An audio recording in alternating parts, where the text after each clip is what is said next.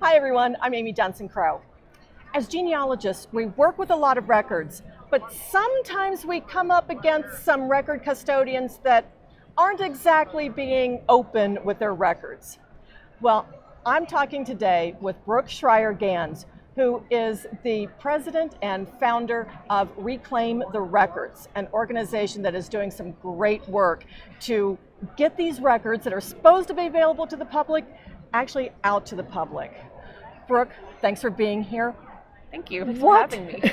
what what got you started and tell us a little bit about Reclaim the Records and what got you started in this project. Well, sure. You know, I, um, I'm not a professional genealogist. I'm just a serious hobbyist, like a lot of people are. I don't take clients, but I've been researching my own family since 1998, so a long time. I, I, discovered it in college because it was a great way to procrastinate on studying for my finals. Nice. Yes. That, that's that's the first time I've ever heard somebody using genealogy as a way to to not yes. study. That's great. Yes. but specifically, the way I discovered it was I discovered websites that had databases, and so I sort of came into genealogy with the, of course, untrue assumption that stuff is online or is about to go online and ought to be online and that was the default setting. And when I discovered that, of course, many records were not online at all, that sort of influenced my thinking. Um, I grew up in New York. My whole family's from New York all eight of my great grandparents lived in New York City. Um, five were born there, three immigrated through Ellis Island. Basically, all the records I want in the US are New York related, either New York City or New York State. They're two separate vital records jurisdictions. New York City is treated like its own state, kind of. Okay. When it comes to how they manage their records release policies, things like that. Uh-huh. It's a little weird. Um, but then I met a guy also in college, and uh, we eventually got married, and I moved with him to his home state, which is California. So I was a New Yorker in exile in California, and all, and all the records I wanted to do my research with were across the country. And as the years went on, I thought, well, they'll go online eventually. Well, I could go visit there, but then I had kids, and I was home, and eventually I kind of noticed they're not putting anything online. Yeah. You know, and every state has their own rules about what they want to put online, what they would like to if they had more budget, what they would like to if they wanted to. And New York is surprisingly known as a black hole for genealogy. Some states are so much better. They will release the index, they will scan the old certificates, they will work with the Historical Society. New York City, New York State, not like that at all, at all. And it was very surprising and very frustrating. Mm-hmm. And that frustration built and built. And I was trying to do my research, and it's still a long term hobby of mine, but I'm across the country thinking, kind of don't want to fly across the country to go to the archives and I have two little kids now I can't leave the house well why, why won't they put it online? What's, what's taking them so long? Mm-hmm. And every other state was coming along nicely.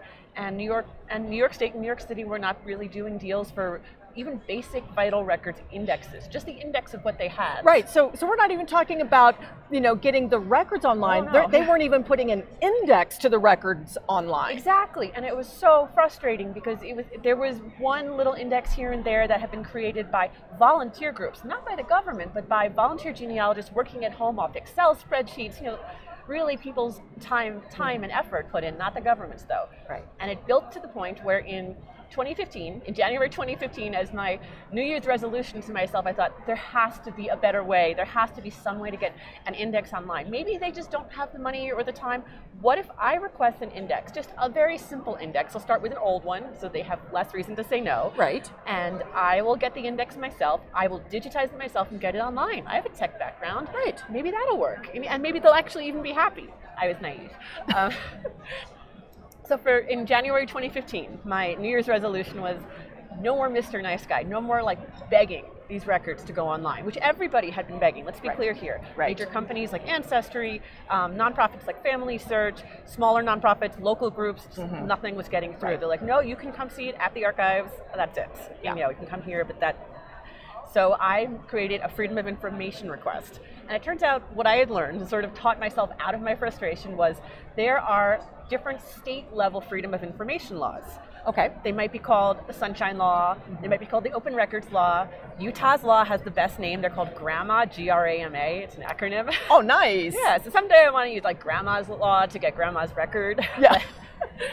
um, and New York had a law called just the Freedom of Information Law, F O I L. Okay. This is not the same as the federal one, FOIA, which a lot of people have heard of. Mm-hmm. FOIA is just for the federal agencies, but they're the state level ones too. They're just not as famous.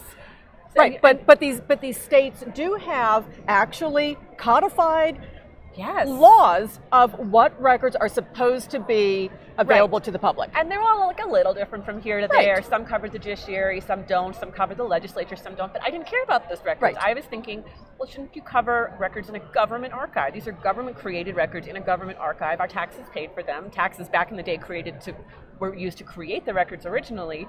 They're not private. Um, and if I were there, I could see them, so there's no privacy restriction. What's the problem? Right. And I didn't know any genealogist who had ever done something like this. So, So, you, so, so you're trying sort of a, a, a legal requirement that these should be open. Exactly. Now, the law says that the, unless it's explicitly named as something that's too private, the assumption is it's open. And there was no legal requirement saying this, like your, your archive records are closed. These are very old. Right. So I sent a Freedom of Information Law request, which basically means an email to the New York City Municipal Archives, which So we're talking New York City here. I started with New York City. I thought, as much as I wanted this for my own genealogy, I was thinking kind of long term. So I thought, let me specifically go for something with a limited scope, limited years, very old, already open to the public if I were in New York, which I'm not. So I made a lo- uh, the email. Just an email is all you really need. Making one of these requests is free. Right. And very little in genealogy is free, unfortunately. So I made a request saying, "Hi, I would like a copy of this record set, uh, the New York City Marriage License Index. Just the index to the licenses, not an, even an actual license. They they Just, just the index. just to see does my relative exist in there as having gotten married." And I thought that the archives would be thrilled if the index went online because if I wanted to order the actual marriage license, I would order it from them and they would get Right. revenue for that. That revenue goes to them they weren't so thrilled. They said, no, you cannot have a copy. Sure, they're public records in the sense that you can come here and use them. But that's not what the law requires. And I was very frustrated. I appealed. They didn't follow the rules for handling an appeal. They said um, they didn't send a copy to the Committee on Open Government, which is the watchdog group for the state set up by the judiciary. I'm sorry, by the legislature. And I felt very frustrated. And I thought, what do you do? And unfortunately, what you have to do sometimes is sue them. And that's what I did. So I found an attorney. And that was actually one of the hardest parts because I didn't Right. know anything about this. I am not an attorney. My parents wish I were. um, my father is a lawyer. My sister's a lawyer. My uncle's a lawyer. I was kind of expected to be a lawyer too, and I didn't go that route. I chose tech instead. Right. And now I was thinking maybe I should have been a lawyer because this would have been a lot easier. but I did find an attorney. I explained to him my case, and he said, okay, well, you know, this seems like it's an open and shut thing. Yeah. So we had to file against the municipal archives. And at this point, this is just still me. This is still individual, frustrated, very frustrated genealogist. Right. But I thought, sue New York City, that's that's a big deal. That's a little scary. Um, Yeah, that's that's really fighting City Hall Right. in a big way. Right. And I thought, you know what? I need a posse. I need a group to do this with me. But I didn't have a group, so I invented one. So I created a website called reclaimtherecords.org. And the group is Reclaim the Records. And at the point, it was just a website with an email list and some social media. Mm-hmm. That way, because it now existed, I was able to sue New York City, Brooke Schreier Ganz, and reclaimtherecords.org versus the Department of Records and Information Services, which is the parent organization of the municipal archives Okay. Okay.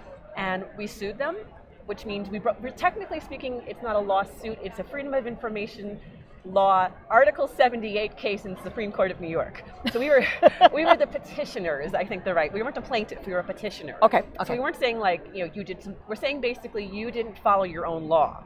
And they settled. They suddenly settled. We were supposed to see them on court on a Friday. I was not actually even going to be there.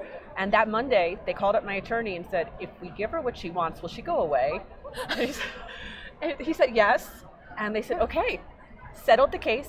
Was not that expensive at all. And a couple of weeks later, I got 48 brand new microfilms in a box sent to me in California. Suddenly, they're sitting on my kitchen table.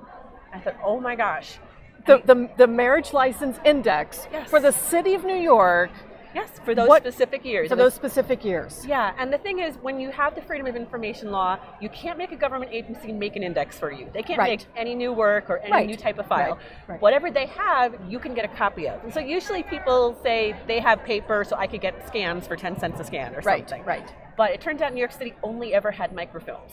They never index it themselves, so they had microfilms that you could use at the archives. So I got a box of brand new microfilms Film. created from the master copies, which are nicer than the ones at the archives, and that's what they sent to me for $35 a film plus $50 shipping to California. Right. Wow. So that was the start. And and it was and it was just making them follow The their law. own their own laws. Yes. Yeah, Yes, and the and the procedures for that, that were already in place. It was it was trying to explain to them, no, really, the Freedom of Information Law covers your government archive, and just because you've never had a request like this doesn't mean it's not true. Right. At any point, they could have checked with an attorney. They had free attorneys um, at the Committee on Open Government who could have told them the same thing. I had an advisory opinion in hand to show them, look, they say you're you're supposed to follow this. They didn't care. Yeah. And sometimes. You know, we all love our archivists, we love our archives, but sometimes they are not going to give up what they want unless you fight them. Yeah. And they're not going to give up what they have unless you fight them. And Right. that's what it took. But that one case broke the dam. As scary as it was, the municipal archives now can't hold back for anybody. So Right. not just for me or for my organization, but other genealogists have been coming to them too. Um, people who I had never known before have emailed me and said they had things at the municipal archive they had been longing to get copies of. Now they know they can email them or call them and say, I want a copy of the such and such microfilms or the such and such papers. I know you have them. You have to give me copies. Yeah. I'll pay you for the copies. It's not free. Right, and and, yeah. and I think that that's that's important to recognize. You know, you didn't get those 48 rolls of microfilm for free. No, you yeah. know, you're you're paying what their rate is. right. But it's just making them follow their own rules, their own their own procedures. So so you you had that victory And with with the with the New York City Archives. Right, and that was 2015, and I thought this is great. So I have a box of microfilms on my table now. It's like, well, I've gotten them out. I've, I've cracked it, and I have these new records that have never left New York City before, never been on Family Search, not on Ancestry. What do I do now? They're in microfilm formats. Well, what I did is I emailed David Rencher, who I didn't know at all, um, Now, for Family now Search. For, for the, I was going to say for, for those of you who don't know, uh, David Rencher is the chief genealogical officer for Family Search. He he's the he's the top dog. Oh, so yes, she went right to the top. Grand high muckety muck, and I didn't know him at all, but I got his email through a friend, and I was very, very polite in the email. What I said to him actually was, "Would you like these brand new microfilms for Family Search so that so somehow they'll get online now? Because I know you have scanning equipment. This way, you can scan a copy, Mm-hmm. put it on Family Search, and they'll be free, and there'll be a copy in the Granite Mountain vaults. They won't just be in New York City, which is." Terrible idea to have everything centralized just in New York City. And he was so nice. He wrote me back and said, Sure, we'd be happy to, to put them on our website, but why don't we scan them for you for free, send you back the microfilms and a free hard drive with all the images? And he did. I shipped it to Salt Lake City and they covered the cost of shipping and they scanned everything and they sent it back and I got a hard drive full of images. Okay, so now I've gotten to the point where I have them digitized, but they're still not online other than potentially going on Family Search someday. So I need to find a place to put them. And I realized there's so many images here because there were hundreds of images per roll of film. Right. It's going to actually cost a lot of money if I buy a server and set it up, which was had been my original plan. Maybe I could crowdfund it, I wasn't sure. But then I realized I could upload them to the Internet Archive, archive.org. Archive.org. Archive.org, the Internet Archive, is a nonprofit library based in San Francisco, and they let anybody upload anything to their website. You can upload, um, you know, they have books for available for, for download or for, for reading online. They have TVs, TV shows, they have music, they have software. I uploaded the images for free. I don't have to pay the software. Right. um, I'm sorry, the server costs, and it was awesome. Suddenly, you could just flip through all these images online. You don't have to be in New York. You don't have to be awake from nine to four thirty. So. Wow. And that was the start. And so I had a pipeline now. The pipeline was find the record set, make a Freedom of Information request. If they don't allow it to go forward, sue them. Get the records in the regular format, send them to Family Search, have them be digitized if needed. Sometimes you don't need that. And that's always at Family Search's discretion. Mm-hmm. I've always said, you know, if you never want to say no, that's all right. But they Yeah. have been so generous and so kind to scan these things. Mm-hmm. Get back the digital copies, put them on the Internet Archive, rinse, repeat. and that's it. nice. And those records will never be locked up again. They will always exist on the internet. Right. So, so what are some of the other victories that you Oh. have had?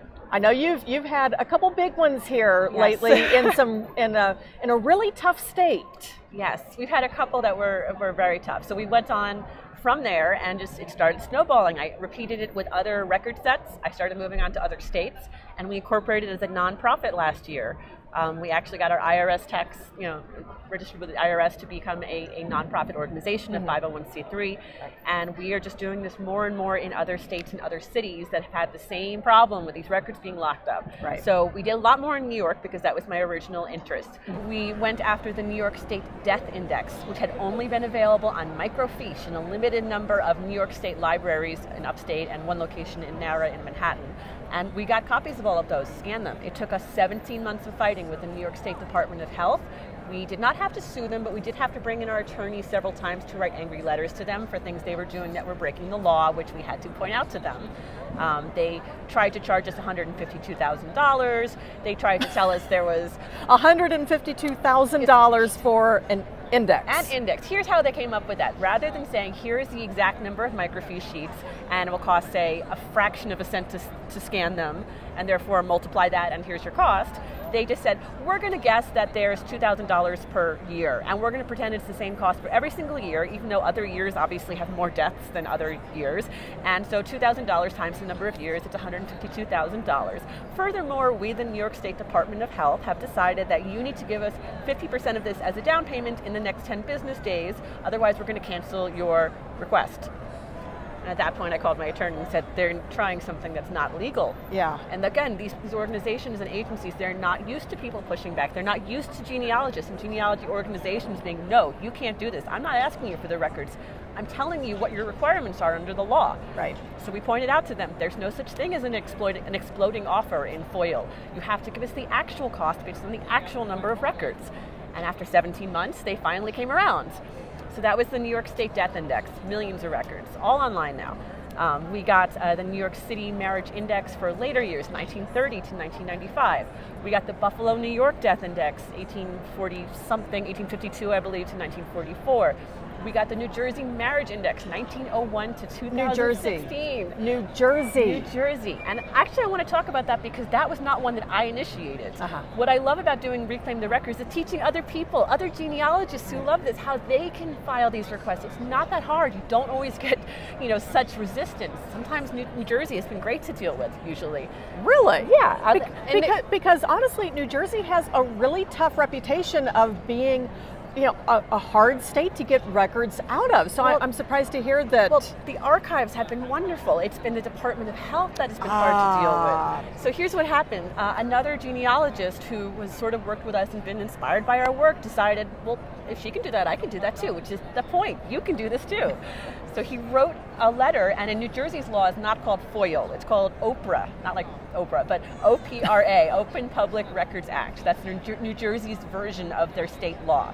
And so their state law, he wrote a request saying, I would like a copy of all of your the indexes to your marriages. Your marriage records, yes, they have privacy protections, but it says that you are required to keep an index for every county that has more than 5,000 people in it, which is all the counties. Right. He went and he read the law. You just have to really dig in and find that website, which is ugly and you know hard, hardly updated, but find the actual law and see well index was not a word that was restricted. Certificates and licenses are restricted. The index is not, almost right. never and he put this forward to New Jersey. And initially, New Jersey Department of Health said no, no. But New Jersey is one of those states that has mediation available. And so when he was about to move to mediation, that's when he contacted me and he said, Hey, um, I kind of did this thing on my own. I kind of need some help now. Will you help? And I said, Yes, this is what our organization should be doing. Right. So we hooked him up with our attorney and we were raising the money. We knew we'd be able to help him afford the records if he won.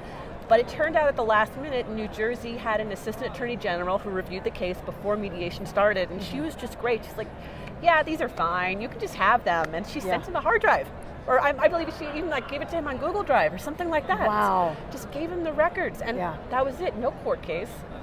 We had the records just now. had just had to make the request. Right.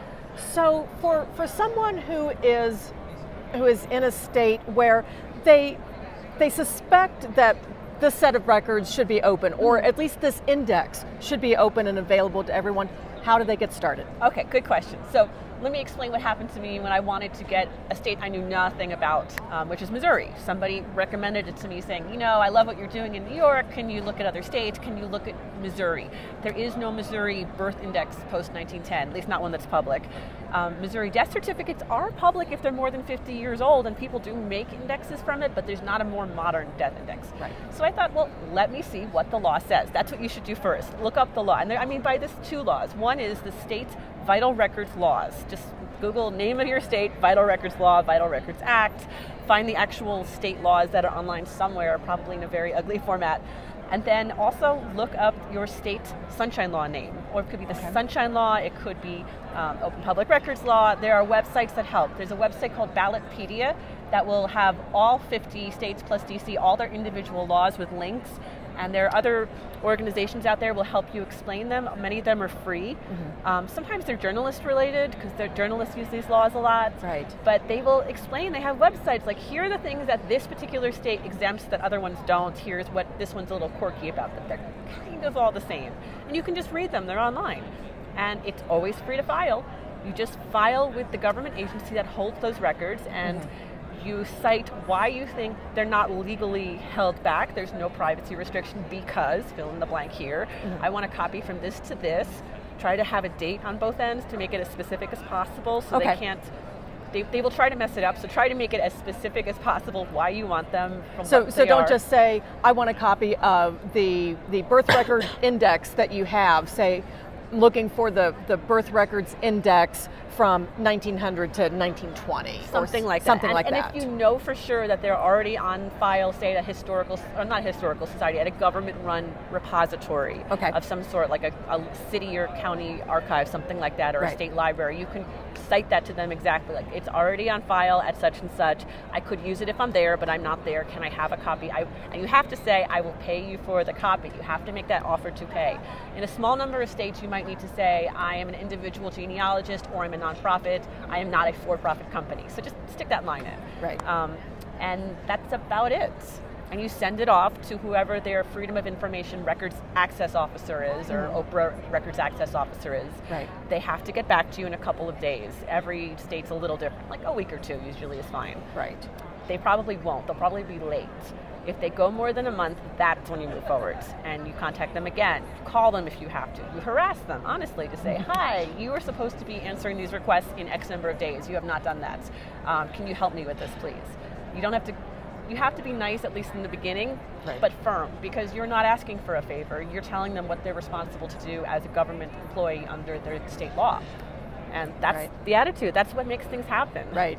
So it's being very clear about your request. Yes. State that, that you are willing to pay, that you yes. are an individual, or if you are with a nonprofit, right. that, that that's, um, but just be very specific about that.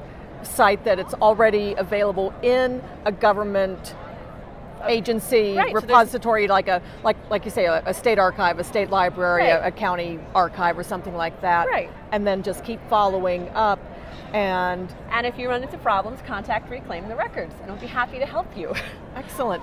So if people do need to get in contact with you or want to read more about this awesome project, where can they find you? They can find us online. We're all over the internet. So there's multiple. Wait, online? Yes, completely.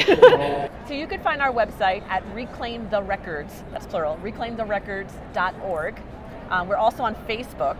I look for Reclaim the Records. We're also on Twitter at Reclaim the Recs. Records was too long. We're available in all three versions. On our website, we have the ability to sign up for our email list. We really only send email about once every six weeks. We're not trying to bother people too much. On Facebook and on Twitter especially, we are much more active. We answer questions quicker that way. You can also email me at info at reclaimtherecords.org. Excellent. Brooke, first, thank you for everything that you're doing and what Reclaim the Records is doing. Thanks. And thank you for answering my questions today. This Anytime. has this has been great.